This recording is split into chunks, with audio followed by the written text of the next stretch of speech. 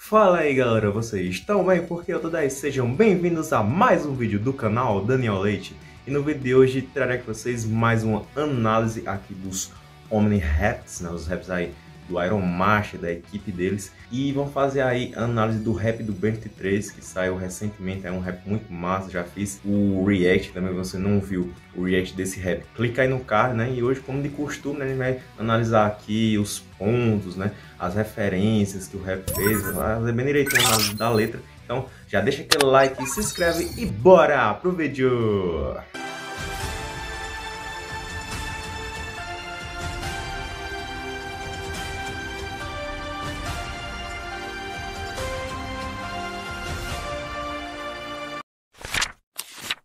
Agora, vamos começando aqui analisando a ponte, que ficou muito boa, né? Sempre quando eles vão fazer um rap assim, sobre bens alternativos, eles falam, ah, é, universos paralelos, né, que nem o rap do bem malvado, aí aqui eles falam ramificações, várias dimensões, eu acho interessante eles deixar claro pro, público que aquilo ali é um universo alternativo, eu acho muito legal. E aqui eles extraíram muito da essência do personagem, do BFT3, que é, ele tem a característica de se achar o tal, o maioral, né, que ele fala, só eu tenho o meu rosto estampado em todo lugar, entendeu? É uma característica do BFT3 de se achar, de ser o famosão, o ricão, tá entendendo? Ficou muito representativo isso. Agora, entrando nos ares, né, começando aí no bolha técnica, é legal, né, que eles fazem isso, né, o Papyrus aí é um gênio, como sempre, o gênio das letras, né, ele faz uma letra muito da hora num rap, aí quando é num outro rap, ele faz referência a essa letra do rap anterior, só que ele dá umas modificações e fica legal, tá entendendo? Ele faz isso com os ares que já apareceram, agora na versão do BFT3, né, no caso,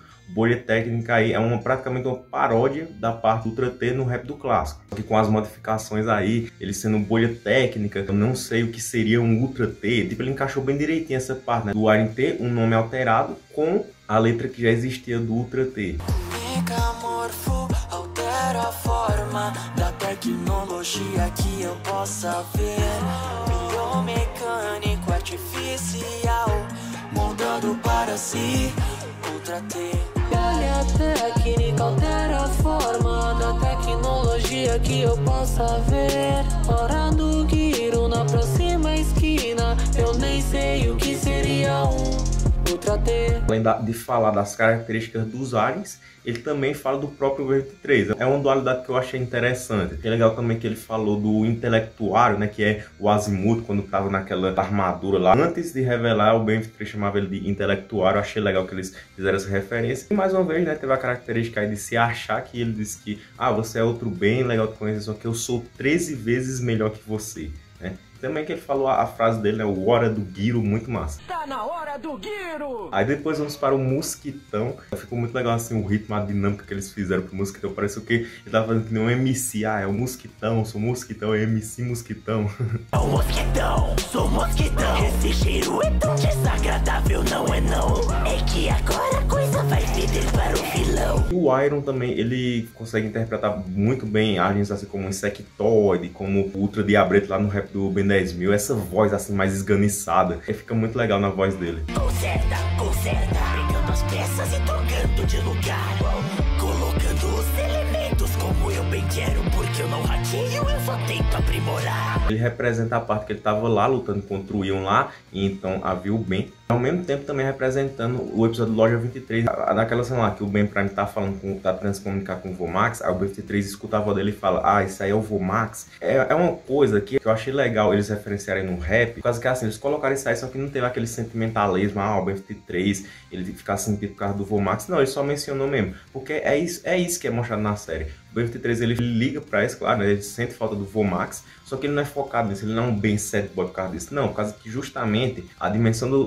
BFT3 é para representar um mundo onde o Ben ele não teve o Vomax para ser o seu tutor, entendeu? Praticamente seria isso. O Ben Prime, se ele não tivesse Vomax, ele ia fazer a mesma cor do BFT3, entendeu? Lá, usar os aliens dele para ser famosão e tudo mais. Não ia receber todo aquele ensinamento que o Vomax deu a ele no clássico. Então ficou perfeito essa menção aí na parte do mosquitão. E não pode faltar, ele, ele referenciou aí a parte do insectoide do do clássico, né? Que o mundo é dominado por espécies de inseto. Você acredita em mim, mas não pode esquecer. O mundo é dominado por espécies de insetos. Indo mais acima, muito além do teto.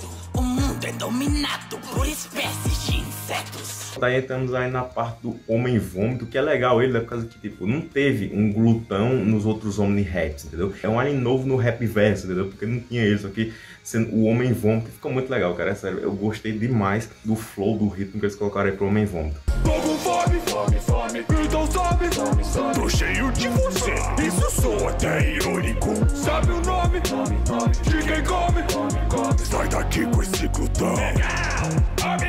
É muito top ele falando, ah, sai daqui com esse glutão, legal, homem vômito. Eles colocam o áudio original do episódio.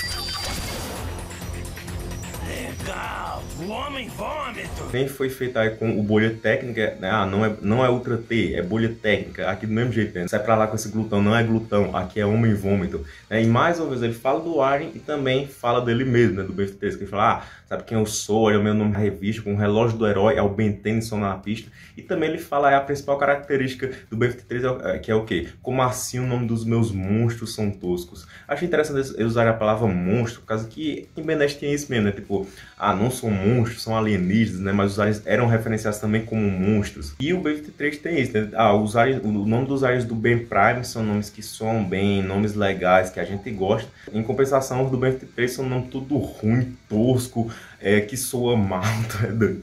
E é elétrico.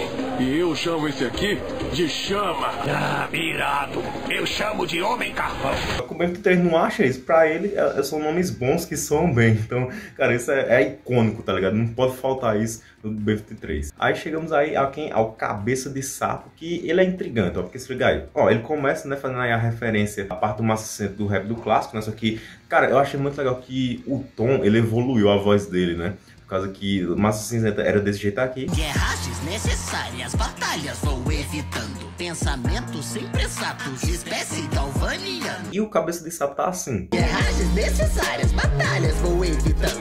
Pensamento sempre exato, minha marca tá aumentando. Deu pra notar que deu uma diferença dele, a entonação dele melhorou, né? A interpretação dele melhorou em relação à forma galvaniana, né? Mas enfim, em relação à letra, é legal, né? Tipo, tem aquela dualidade, né? Ah, ele fala uma coisa bem inteligente, só que aí depois ele fala, ah, minha marca tá aumentando, como assim não me conhece? Não, nunca leu jornal, revista ou ligou sua TV, entendeu? Tipo, já começou a falando assim, enaltecendo né, o B23. Eu acho legal também, porque ele fala, ah, agora finalmente eu entendi o que você tava querendo me dizer, fazer pelas pessoas e não pela fama, né? Que isso foi uma lição que o Ben Prime ensinou para ele, a pessoa lá do mundo irado, irado do bem parte 1, parte 2. Assim, a, a, lição não era essa, né, que o Ben Prime queria passar. A lição era não coma o azimuth, mas o Ben 13 ele aprendeu muito mais do que a lição. Ele aprendeu né, que, ah, não, deve lutar pela fama, assim, pelas pessoas. Ele né, quis mudar em relação a isso. Eu só mereço o meu relógio de herói quando eu ajudo outras pessoas. O nosso trabalho é muito importante. Não podemos fazer feio. É, a lição era não comer o azimuth.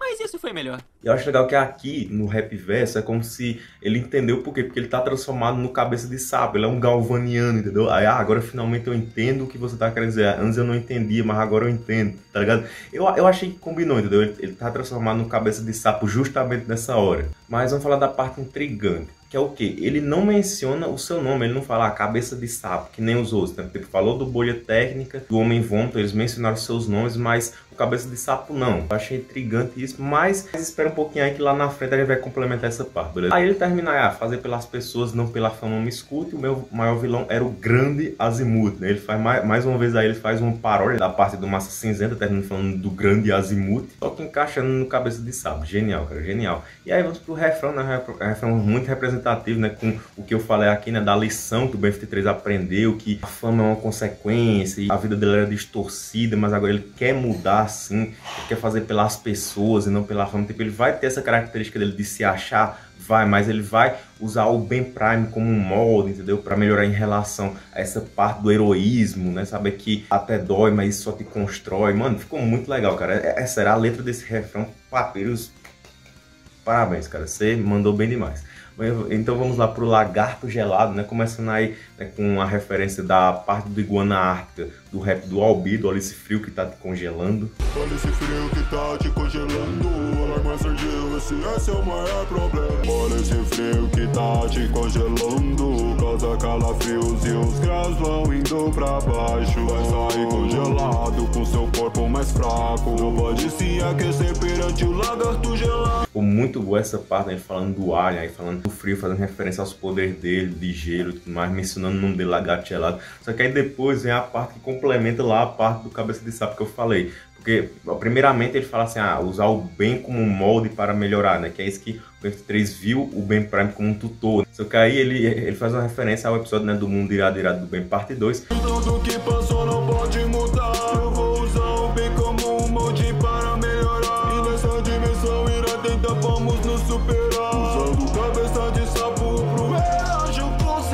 Eu acredito que foi assim, eles não conseguiram encaixar a parte bala do cabeça de sapo na parte dele mesmo e usaram isso em outro ar, usaram isso no lagarto gelado, que a gente fica meio tronchento. Ele, tava, ele tá transformado num ar e tá referenciando a outro, mas ficou bom, né? Porque falou do cabeça de sapo, falou o nome dele ali, falou desse feito dele, né? Dele ter consertado aí o Omnitrix. E aí vamos para o Mega Olhos, que é muito legal, cara. Mega Olhos é o nome do Opticoid do Ben, do ben Prime e também do Opticoid do Ben 3. É o mesmo nome pra esse área. E, e, aí ficou muito bom, porque ele falou, ele fez aí, os trocadilhos com o olho, né? Tipo, tá olhando o quê?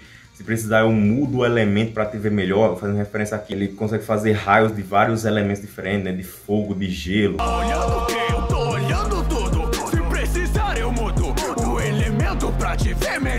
também ele faz uma referência àquela, à cena, né? Que o Ben, a Gwen 10 e o Professor Paradoxo aparecem na dimensão, na dimensão 23, né? Que é na hora que o Ben tá lutando contra o Ion, né? Que ele tá transformado no Mega Olhos. Gostei, né? Que eles fizeram referência a isso, né? Falaram aquela, aquela frase que ele falou: Ah, todo mundo me conhece, eu tenho outdoors. Porque tá atacando meu mundo, eu não vou junto. Que conhece, eu tenho outdoors. E eu acho muito engraçado essa parte, que, que ele fala: Ah, tem uma ameaça multiversal de morte, eles precisam da minha ajuda. Não, peraí, deixa eu olhar minha agenda aqui. Aí, ah, tem um horário na segunda, outro no domingo, aí depois parece que ele se toca, né? Que ele fala ah, já entendi. Então, tipo, ele se tocou que, ah, não, é uma ameaça multiversal de morte. Se eu não cuidar disso, não vai ter um amanhã, não vai ter um horário marcado pra depois, entendeu? Penguin e professor precisam da minha ajuda. Ameaça multiversal de morte. Deixa eu olhar minha agenda aqui. Tem um horário na segunda, Eu, eu acho que ficou muito legal. Mas eu acho que eles poderiam ter adicionado uns fazendas, tipo, fazer feito mais trocadilho com olhos. Também falar, sei lá, poderiam quebrar a quarta parede. Não sei, fazer alguma coisa assim, por causa que, deixa eu explicar. O nome do Mega Olhos lá no original é iGuy. E lá é considerado um nome ruim. Aqui pra nós, Mega Olhos ficou uma adaptação de dublagem muito boa né? Mas lá iGuy é um nome ruim. É tanto que o Benf 3 lá no original tem vários tem vários aliens dele que tem o Guy no nome, tipo, o construtor lá é Guy. Ele poderia ter mencionado isso na parte do Mega dizer, ah, você disse que meu, o nome dos meus aliens é ruim, mas o Mega Warriors tem o mesmo nome, entendeu? Fazer, faz, feito alguma referência isso ia ficar muito engraçado também. Aí chegamos à parte do construtor, ficou uma parte da hora, né? Tipo, a voz dele não condiz com a voz do, do né? Tipo, a, a voz do Blocks é uma voz mais rouca, assim dizer. Prometo te colocar em primeiro lugar, a não ser que a galáxia esteja em perigo. Tipo, perigo mesmo. Pai, eu vou mudar. Mas eu gostei, combinou, né? Combinou bastante com o construtor. Só que assim, eu achei estranho por causa que, diferente dos outros ares, né? Que os outros ares, é o que eu falei, a pegada era essa. Era falar do ar e dos poderes, referenciar alguma coisa, mas também falar do Ben 3 e a situação que ele tava lá nos episódios que ele aparece no universo. Só que aqui ele só faz referência à parte que ele aparece, né? Tipo, ele não fala dele, ele só fala da, do, do que está acontecendo ali. Ah, nós somos os bens legais e eles os malfeitores, viu? O gato saiu os trair, a bomba é ativa, os portadores entraram em extinção, entendeu? Ele só fala disso, mas ele não fala da forma segmento Torsap, entendeu? Por causa que o Blocks, ele não tem aparecido em outro rap. Então ia, ia ser que nem no caso do Homem Vômito, né? O Glutão não apareceu em outros rap, o Megalith também não. Aí aqui eles aproveitaram para fazer uma pequena parte desses aliens que não tinham aparecido, mas no caso do construtor, não. Saindo dos portais, versões de portadores Nós somos bem legais e eles os malfeitores E o Gax vai os trair na primeira oportunidade Eu não desmarquei minha agenda para perder o podia ser qualquer outro personagem ali que ia dar certo do mesmo jeito, entendeu? Não precisava ser ele, porque ele não falou dele mesmo, não falou dos poderes dele de construção, vai alguma coisa, ah, consegui fazer um paredão para impedir o gás do podrão, alguma coisa assim, entendeu? Eles poderiam ter falado, mas eles não falaram. Mas eu achei legal também. Enalteceu não a ele mesmo, né? A primeira vez que acontece, ele não enaltece o Ben 3, mas sim ele enaltece o Ben sem relógio, né? Que fala que o universo está em suas mãos. Muito legal isso. a guerra bomba é sun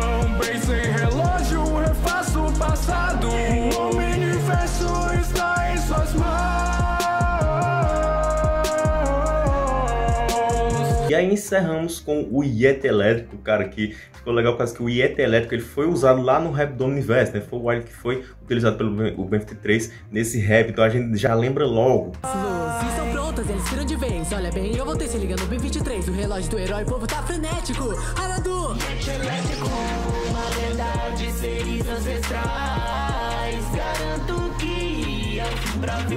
Pode até dizer, ah, mas na- nessa parte é igual do construtor. Ele também não falou muito do Shocks 4, no Yeti Elétrico, assim, sim. Mas ele foi falado lá no Rap do Universo. Falou, ah, uma lenda de seres ancestrais, né? Falou que o Gatos está em maus lençóis, né? Por causa que foi o, o Yeti Elétrico foi um dos ais que foi utilizado para derrotar o Vilgax, entendeu? Então a gente tem uma memória afetiva por causa que eles fazem uma referência, né? Eles, eles usam assim, as mesmas palavras, só que de maneiras diferentes. Lá a parte do Yeti Elétrico do rap do Universo. Agora no caso do construtor, não. As luzes estão prontas, eles nos salvou. Recriamos a história, a gente voltou. O relógio do herói, povo tá frenético.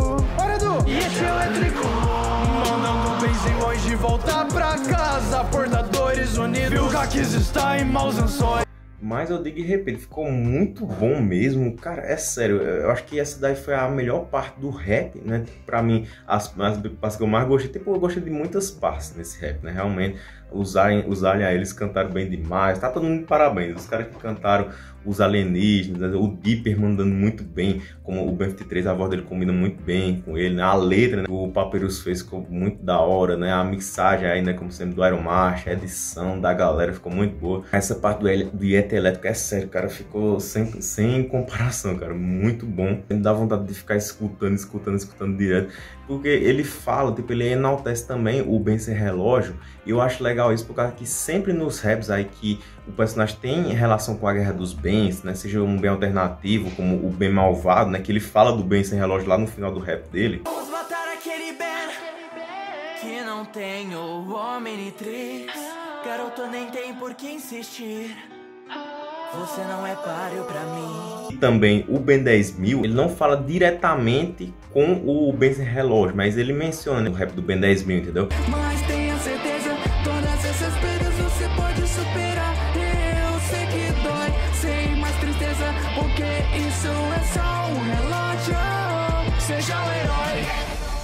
Então eles sempre estão fazendo essa, essa referência. Eu acho que se tiver um rap da Gwen 10, ela vai falar do Ben Sem Relógio. Se tiver um rap do Ben Irado, ele vai falar do Ben Sem Relógio, entendeu? Eles sempre falam desse Ben. Por causa que ele foi importante, né, pra Guerra dos Bens. Ele foi o alvo, o foco lá, né? Então faz sentido referenciar ele. Aí, mais uma vez aqui, Você não tinha o relógio, só que a gente sabia que lá no fundo você era igual a nós. Porque isso é só Seja um herói. Cara, muito massa esse rap, é sério, sem comparação. Tava com saudade dos Omni Raps e quando voltou eles trouxeram essa maravilha à tona pra nós, né? Que a gente gosta muito. A, a fanbase pira, né? Quando eles fazem uns rap assim. Espero muito aí que tenha um rap do bem negativo, rap do bem irado, rap da Gwen 10. A rap da Gwen 10, eu quero, eu quero ver como é que eles vão fazer aí. Vai, vai, ser, vai ser legal, vai ser muito massa, eu acredito muito nisso. Mas é isso, galera. Esse foi o vídeo, espero que tenham gostado da análise. Comenta aí os pontos que você também acha que valem a pena ressaltar aí nos comentários. Comenta aí qual das partes você mais gostou. Gostou mais da parte do bolha técnica, ou a parte do construtor, ou a parte do mega olhos. Comenta aí qual a parte que você mais gostou. Comenta aí também quais outros Eu posso analisar aqui. Será que eu analiso? Não sei. Não, vou deixar, sur- vou deixar surpresa para vocês. Né? Futuramente eu vou analisar mais um Omni-Rap sim, mas não vou dizer qual é. Vocês vão ter que descobrir aí qual que, qual é que vai ser. Mas é isso. Deixa aquele like, se inscreva no canal se possível. Seja membro, ative o sininho, falou e tchau!